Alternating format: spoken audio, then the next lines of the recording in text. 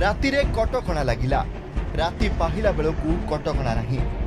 ରାଉରକେଲା ପ୍ରଶାସନର ଅଜବ ନିଷ୍ପତ୍ତି। ବିଷ ବଳୟରେ ରାଉରକେଲା ସହର। ଯୁଆଡ଼େ ଦେଖିବେ ଘନ କୁହୁଡ଼ି ସଦୃଶ ଆସ୍ତରଣ ବାୟୁରେ ପିଏଚ୍ ମାନ ପାଞ୍ଚଶହରୁ ଅଧିକ।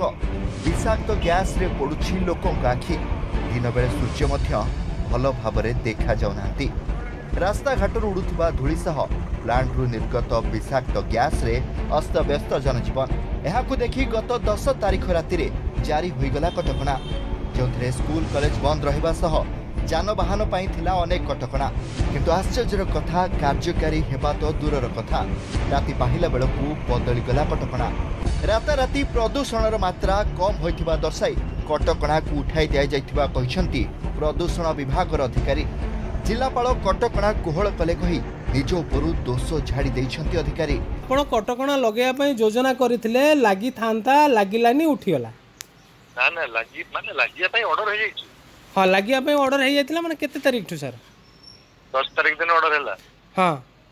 ତ ଇମ୍ପ୍ଲିମେଣ୍ଟେସନ୍ order ହେଲା। ଇମ୍ପ୍ଲିମେଣ୍ଟେସନ୍ ଦଶରୁ ହେଲା।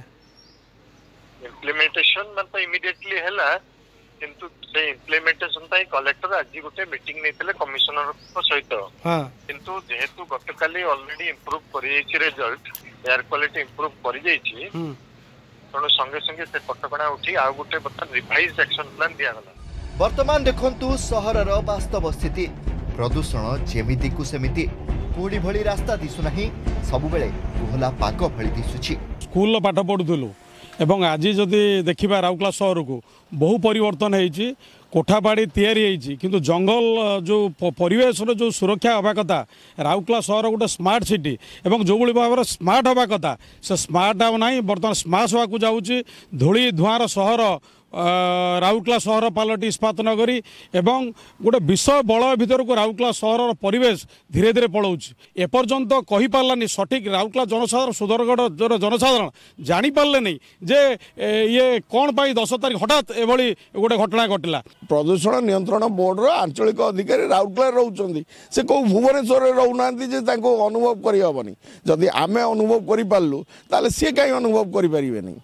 ଏବଂ ସବୁଠାରୁ ଦୁଃଖର ବିଷୟ ଏବଂ ପରିତାପର ବିଷୟ ଯେ ସେ ଆଞ୍ଚଳିକ ଅଧିକାରୀ ଜଣକ ରାଉରକେଲାରେ ରହୁଛନ୍ତି ନା ବାହାରେ ରହି ତାଙ୍କର ଏଇ ରିପୋର୍ଟ ମାନେ ପ୍ରସ୍ତୁତ କରୁଛନ୍ତି ସେଇଟା ସିଏ ଜାଣିଥିବେ।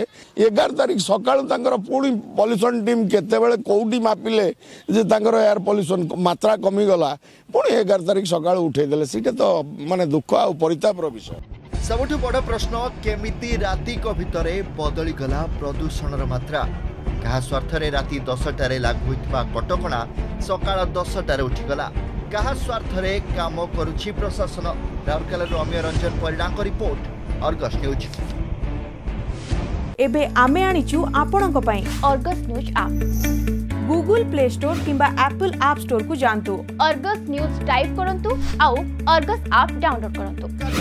लाइव बुलेटिन न्यूज़ एवं अन्यान्य शो देखंतु आउ आम संगे जोडी होंतु तबे डेरी काहे की आज ही डाउनलोड करंतु ऑर्गस न्यूज़ ऐप सत्यर संधान रे ऑर्गस सब बेले लोकों को साथी रे